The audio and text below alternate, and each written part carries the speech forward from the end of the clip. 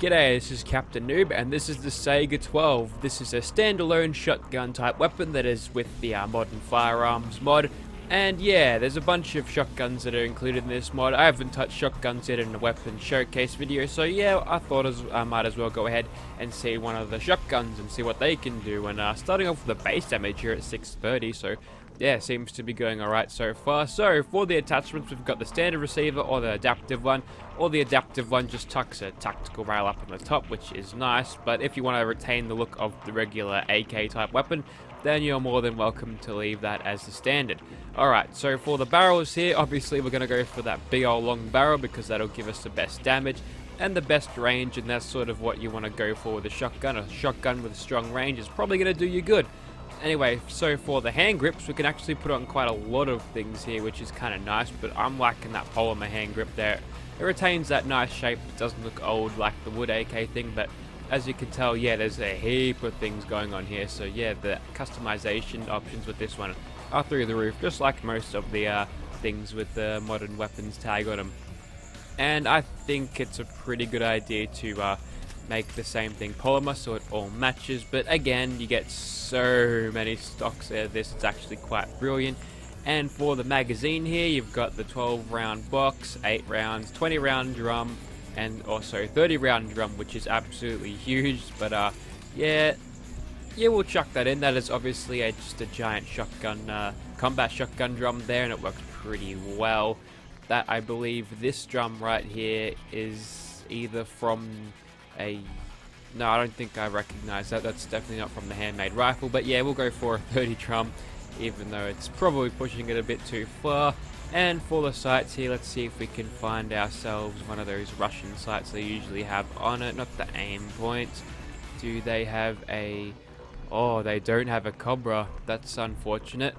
Uh, we'll go for just a uh, holographic then with the 3D one. Yeah, we'll go for that one and you can put a choke on this thing to actually sort of um, improve the spread a bit so that's actually kind of useful because spread on this thing with the short barrel I was testing it out before just shooting at a wall it's pretty high. So yeah you know what we'll put on a full choke on that and this thing will be a quite a good shotgun. I might go ahead and change that before we go into Gunner's Plaza I just want to tune that properly. So they've got a bunch of under barrel attachments but they don't chop because I haven't got a tactical rail down there that's fine and we can change this thing's ammo. This is 12 gauge. You can change that to Dragon's Breath, which is like an incendiary version, or a Giant Slug, which is kind of cool. But for the moment, we'll keep that on 12 gauge there, and we'll change it up later if needed. And you can make this full auto if you feel like it. We're going to keep this at semi for now. And with the, the uh, paints here, you can change the look of the EOTech. I don't think anything else is compatible with that is currently attached to this weapon, but you might experiment and see things, more things that are. So that is our Saiga 12 that we're going to take in the Gunner's Plaza. Hopefully it's a good one, and hopefully we won't get killed by superior rifle type weapons, but we'll see. Righto, here we are in Gunner's Plaza with the shotgun, and divert your eyes children because the reloads aren't quite as good as they should be. Oh, that telekinesis of turning the uh, charging handle there. Alright, let's get into some of these gunners here. Now, these guys are going to be armed with uh, very, very powerful um, rifles, so um, it's important for shotguns to do a lot of damage and stagger a lot or just uh, make it generally a lot harder for enemies to kill you. Otherwise, you'll be running yourself into just a bullet storm and you'll be dead very quickly. Fortunately, as you can see here, yeah, the shotgun is doing just that. So the reason why I choose the Saiga is because um, I've actually had sort of experience with this weapon back in Battlefield 3 and 4. I remember that was like a Saiga 12K or something. So yeah, that's kind of cool. I always sort of like the weapons that I see in Battlefield 4 because usually they're done well and uh, yeah, they're kind of uh, easily memorable. I like the weapons in the Battlefield games, except for Battlefield 1 I only use tanks. Anyways, we'll go ahead and shoot that gunner there and it is good. It's worth mentioning that you can put suppressors under this, but obviously I'm not using this as a stealth weapon because I'm just running in like a crazy raider. That's why I've got Raine along with us today, and also it's her turn. So yeah, doing this, we're easily able to take out these gunners, and with those knockdowns that we get every so often, we can actually... Okay, she's got something scary. I recognize that sound from a very powerful weapon in this mod, so I gotta be very careful when it comes to this. Okay, so we're up close and personal, which is where we want to be. Okay, you've only got a vanilla Gauss rifle. You're easy to kill, you're a bit of a joke. Yep, and with those knockdowns there, we can quickly disarm the threat, close in, and then just give them a whole heap of buckshot to the face. So the damage here is definitely going to be able to, uh, yeah, compete with them. Although I'm at a high level here, and under normal circumstances, I'm super tanky anyway. But if you're running into this place at a lower level where everyone's got these guns, then yeah, you might find yourself having a little bit more trouble.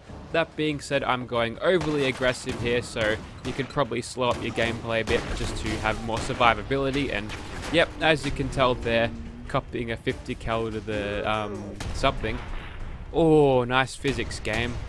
Please don't ever fix this, Todd. It will just kill you on the way down. Man, shotguns are fun with this mod.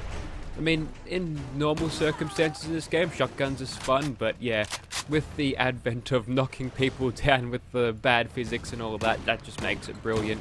And you can even sort of reach out all the way over there. The um, combat shotgun wouldn't even dream of having a range like that, so that's kind of good. Unless you're using explosive, because obviously it's explosive.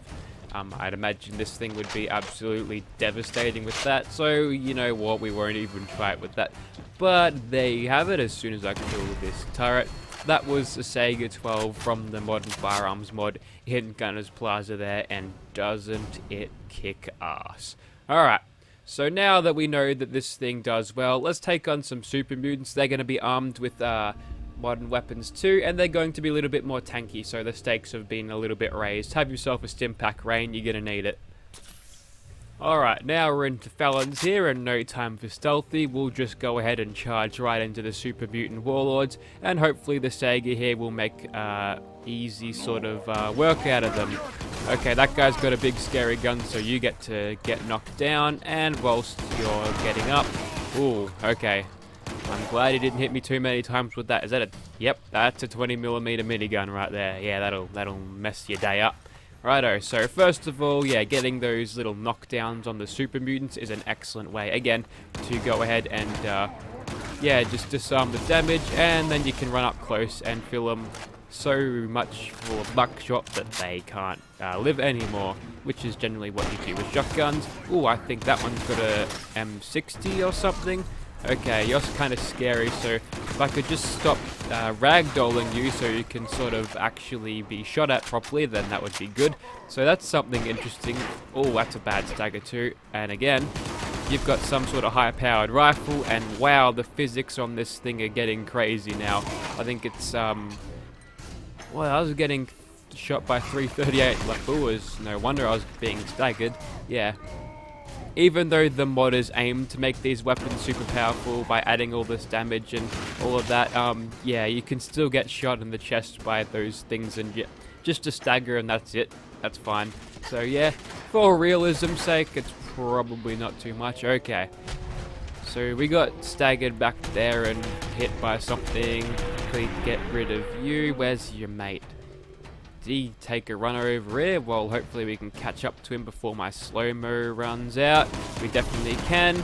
And now that he's knocked down and he's just going to keep going apparently. Yet something's wrong with the physics on this thing. It keeps just pushing enemies super duper far, which is it's comically uh, funny, but it's a little bit impractical because I got to chase them around everywhere. And for some reason, they still haven't detected me yet. I was using a suppressed Glock yesterday, and as soon as one detected me, they all did. But uh, not here. This thing's a very quiet shotgun, it would seem, and if you could just stop moving for a second, that would be good.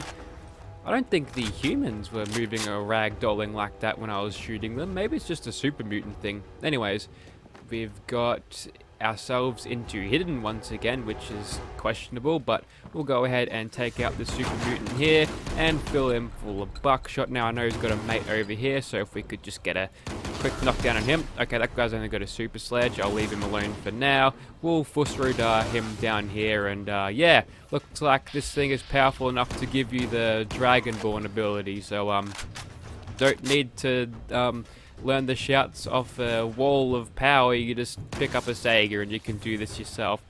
And that's all the rad roaches we have here. And the last straggler doggos will quickly finish them off. Don't even bother howling, mate. And there you go, that was a Saiga 12k against very high level super mutants there. And it does pretty well, even though you will get your aim thrown off by all the things there and hopefully not get shot at by the super mutants too much to kill you. Yeah, you can actually wreck face in here, which is pretty good. We'll go ahead and move on to a monster. We'll give Swan a rest for now. I think we've killed him too many times and it might even be getting boring for the viewer at this stage, so we'll move on to a different monster. Okay, we're in the middle of a radiation storm here. Let's go ahead and kill this ghoul. Now, this guy's only an upscaled uh, vanilla enemy, so yep, he should be nice and susceptible to lock knockdowns, which means we can, if we can just get him anchored into a point where he'd go ahead and just keep on being sort of uh, knocked down, then that would be good. We've picked up a few of his mates though, so we'll just finish them off. And before he gets up, we'll hopefully knock him down again. We'll try to wedge the bugger in the corner or something just to get him to stop moving around because for some reason you just push them with this, which is kind of weird and it sort of stops and he caught up on himself, but we'll just go ahead and just spam that trigger. And you can really rattle off shots quickly with this thing, which is kind of nice. Pop a quick reload there as he's standing up. And I think bad hitboxes there prevented me from shooting him for a bit. But that's fine, we'll just go ahead and keep on hitting him. And off he goes again. Looks like we'll have to chase him a little bit further down. Got ourselves fully submerged then. And you know what? We'll go ahead and use this thing and VATS for a bit. And according to this, we'll only take two shots to get him, but VATS might be a horrible dirty liar. And I'm pretty sure I didn't have to reload, but Yep, okay, now that he's that far away, our shots aren't doing nearly as much, so probably not worth even taking that second shot there. He's in the water now, so he's going to have to actually drift to a uh, place where flat ground is to get back up, so we'll just finish him off from there. And also, nice dance, Mr. Mirelurk. You can go ahead and get Sagid too. And do we have a synth over there we could kill? I think we can. But first, so I'm going to leave you alone. I've already killed enough Mirelurks today. Or have I? Alright. So... Oh no. Lobster, don't ruin this for me. Okay, that's fine. She hasn't detected me just yet. Or it. Sorry, it's a synth. Not worth of calling gendered pronouns that you would for an actual woman. There we go. Okay, stealth's up. I can't crown the witch. We can't play Left 4 Dead. So unfortunately, you're just going to get the uh, old uh, knockdown buckshot treatment. So uh, open wide, would ya? And a crit, down you go. And we get 500 bottle caps for their troubles and too much XP. That is way too much. Alright, so we know this thing is good one-on-one. -on -one. Let's go ahead and try this with a little bit of crowd control, I think. Alrighto, so there's gonna be a bunch of bears over there. We'll test out this thing's crowd control power just by sneaking up nice and close to them and letting go with trigger. And yep, it appears these ones can be knocked down as well. So we'll just get them all knocked down as we go along. And we'll try to keep them all knocked down as we go, but uh, it's going to be hard with a bunch of bears going around. We'll just have to sort of sweep them across the ground as we go along. That one's definitely dead now. And that Dusky is almost dead as well, so we'll quickly just knock you down, mate. Send you into a tree, and down you go. Almost finished you off, and looks like that is all the Duskies dead. Ancient Commonwealth Bear has decided to not fight me here but he's run into some sort of random encounter there, so that'll distract him for a little bit. Knowing that we can knock him down, we'll go ahead and just get nice and close to the bastard, and we'll clean up these Rust Devils while we're at it. Yeah, i have got no time for Allo Raiders, thank you very much. Oh, you're a legendary too. Have you dropped anything good? No, you haven't. Alright, yeah, this is an overbear, just hold still and... Uh, oh, he's actually hit us there somehow, and we'll go ahead and just get him a little bit in fat, and now he's getting away because for some reason shotgun pellets can do that to a giant bear, so uh, yep, I think we're going to be chasing him for quite a bit, which is kind of unfortunate, but whatever, it's comical at least, so we try to push him in a way that gets him nice and stuck, and I'm pretty sure there's an overpass down there, which if I could just catapult him down there, yeah, looks like he's in a position to just stay stuck if I just uh, hit him against the walls a few times. or try to get him in the corner. There's a Radstag there, no interfering with my video please. And into a corner we'll try to wedge you. And then we'll get nice and close and fill you full of buckshot, clicking the mouse as fast as possible.